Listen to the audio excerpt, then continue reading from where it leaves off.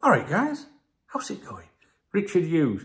Everyone, everyone and their dog seems to think that Richard Hughes is going to Liverpool to be the next sporting director. He's a pal of Michael Edwards. Does that mean it's Edwards Hughes coming in?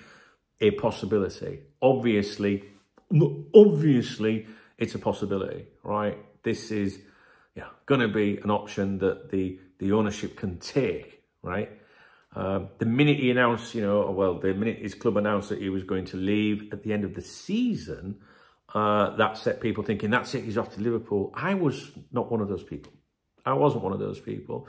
Uh, one reason that springs to mind is, um, you know, Liverpool want a sporting director in place this month, March, uh, and we're supposed to get that uh, announcement this month, but things can change, all right? So, you know, maybe they've gone, no, we'll have to wait till the summer, whatever. I, I don't know. That's that's the one thing that makes me doubt it. And also, I think there's a lot of chatter and suggestions that he could go to Newcastle. All speculation, but very short video, I think. Uh, I, I don't think it's as obvious as some people think. Uh, yeah, I don't think I can. I don't think I can add any more to that. Uh, oh well, uh, as as up to yesterday, uh, the latest chatter coming out of Anfield was that Liverpool had as many as six options for that position. Whether you believe that or not, or not, I'll I'll leave that with you. Um, we've discussed probably four or five names on here. Uh, there are others that I could discuss, but why? What's the point of discussing them? Like I would be just saying to you, "Oh, this is the sporting directors." That could get the job. I, I can't give you any uh, any intel on that at the moment, unfortunately, um, because I do think that the Michael Edwards situation affects everything. I really do, and this is the problem. Well, is it a problem or is it a good thing to have for the owners? Because Michael Edwards, if he is in a more superior role of running the club on a day-to-day basis, he will have his idea of his own sporting director, and that could be Richard Hughes, who is a pal I don't know if he's a pal just within a networking football sense, business from from you know working and having contact, or whether he's a pal away uh, from football outside the game.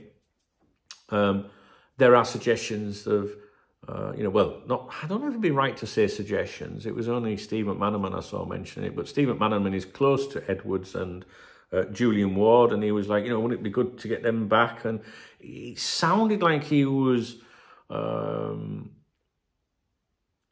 I, wouldn't say hinting, but alluding that maybe that you know that that is a possibility for the owners because let's be honest if you're the owners you might uh, let's let, let's just let's put yourself in the position of the owners right? Michael edwards would love you to come back right?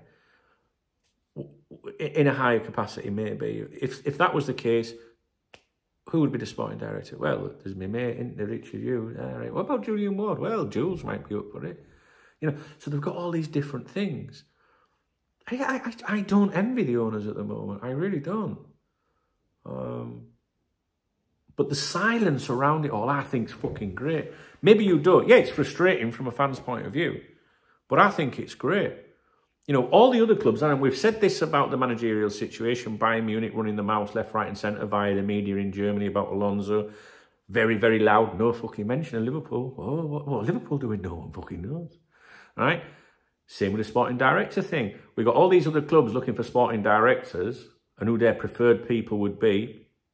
Uh, some, you know, uh, some resignations, but wants to go to Manchester United, for example, but they'd have to do uh, running commentary. But we haven't got a fucking clue regarding Liverpool, which is always a good sign.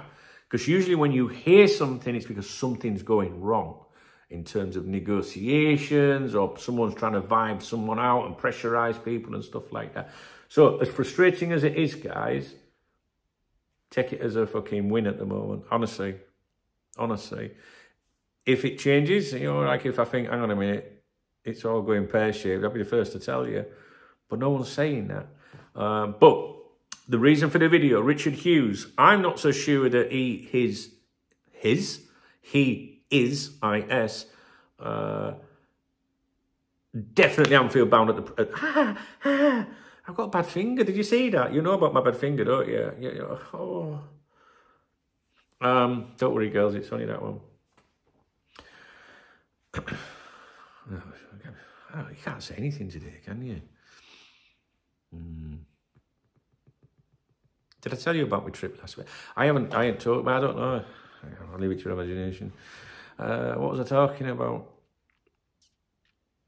Got to be careful. Walls have ears. Mm. Walls also have sausages. Do you remember that? Weren't there an advert years ago to do with Walls sausages? And didn't didn't didn't, didn't used to be a dog on the advert? It used to go sausages. No. All right. What's your favourite sausage? This isn't for the girls. This might be for the fellas. Well, you don't know today. It could be for anyone, to be honest with you.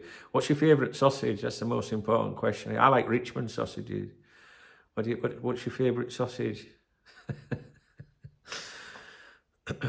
um, that's it. That's it's fucking way more important than sporting directors. Because it'll define who you are to me. Because I know a lot of you people in the comments because you've been here years with me, or your members, or whatever, or you come on the live streams. You know what I mean? So you know, like when they say don't meet your heroes because you can like then suddenly go off them. Like there might be one of you guys, right? That I, that I think he's fucking mint, right? And then you might put like, uh, I like chipolatas, don't can I be like, fucking want you on my channel, and we want the big ones, don't we, girls? Yeah. All right, I some big thick sausage bangers, you know, you know what I mean?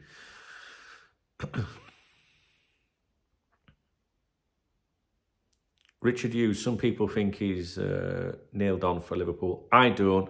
I think it's we're going into that territory of the various combinations that the owners have to select.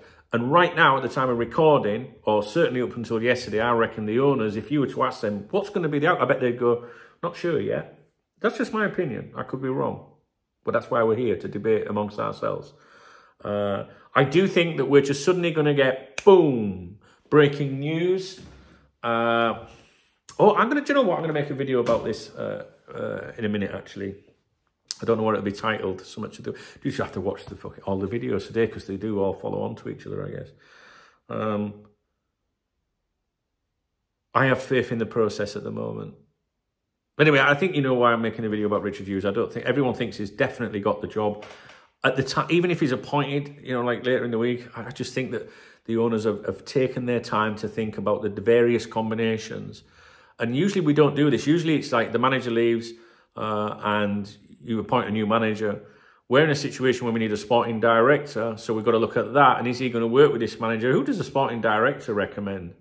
And then there might be a new position, or you might have Edwards coming in. Billy, what's he called? Hulk Hogan, Billy Hogan, whatever he's called. He might leave, might, because he's had that change with the FSG position. So he's become fucking CEO of FSG International and all that fucking. Damn bastards got more money than sense, haven't they? Right? So then you've got all these different fucking things, and I'd be sat there going, I don't know what to fucking do. I don't know what's, what, what do you want me to do? Do you know what I mean? Got to get it right. Got to protect the billions. So you take your time with the decisions. If you appreciate the video, please thumbs up the video. If you want to leave me a comment, please leave a comment. I read every single motherfucking comment all day long. Uh, just think, first thing, if you comment after like say midnight or something like that, when I wake up in the morning and I pull down the notifications on my phone and I see the YouTube, your comment could be the first thing I see in the morning. Yeah, because I, I like to see what you've got to say. Uh, if you want to buy me a coffee or a fucking vodka for Saturday night, hooray, hit that super thanks button. Yeah. Read the video description. Get on the mailing list. Follow on uh, social media. Let's connect. Let's be friends. Uh, and let's have a, a, good natter. And please be nice to each other in, in, in the, uh, in the discussions uh, in the comment section because if you leave a shitty message to someone, if you're abusive to someone, call them names, you will be uh, hidden from the channel. You think we can see all your comments moving forward, but you can't, and it's irreversible. There's some YouTube bug that doesn't let you un undo them or something. I don't know why that is. Or certainly on my account. Um, so please just be nice to each other, even if you disagree with each other. We're not too wishy-washy around these parts, guys, but, you know, we're a bit more grown up. We ain't got time for these fucking idiots. Do you know what I mean? All right, I'll speak to you in a bit. Right.